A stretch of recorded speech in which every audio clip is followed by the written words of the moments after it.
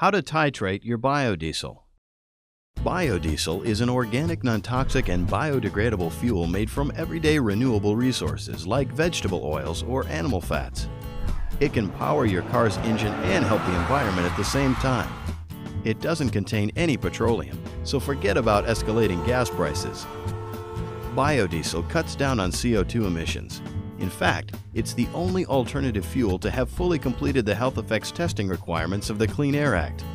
Biodiesel can be purchased at a growing number of fueling stations around the world, but you can also make it in your own backyard. Even if you don't like chemistry, you can brew your own.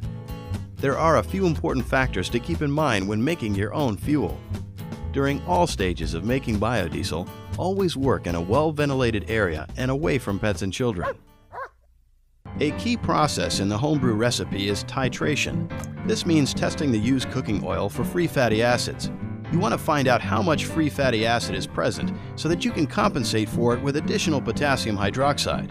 Follow these easy steps to find out how to perform a titration.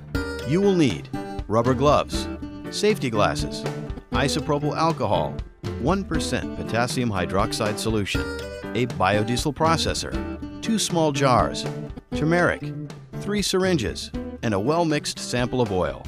Step 1. Safety first. You are working with some chemicals and vapors that could be dangerous if handled incorrectly.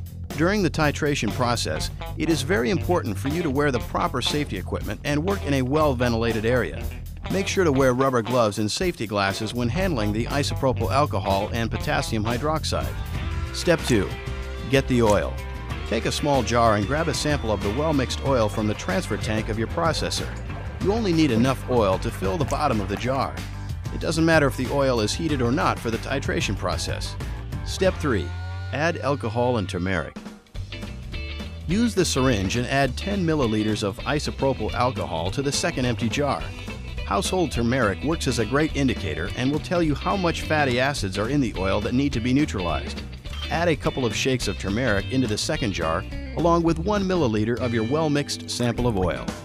Step 4. Potassium hydroxide solution. Grab the third syringe and take exactly 10 milliliters of your potassium hydroxide solution and slowly add it to the oil, alcohol, and turmeric mix.